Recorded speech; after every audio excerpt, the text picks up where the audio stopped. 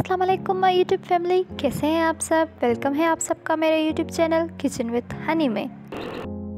आज मैं आपके साथ जो रेसिपी शेयर करने वाली हूँ, वो है बादाम का शरबत। तो चलिए स्टार्ट करते हैं। सबसे पहले गर्म पानी ले लेंगे एक बाउल में।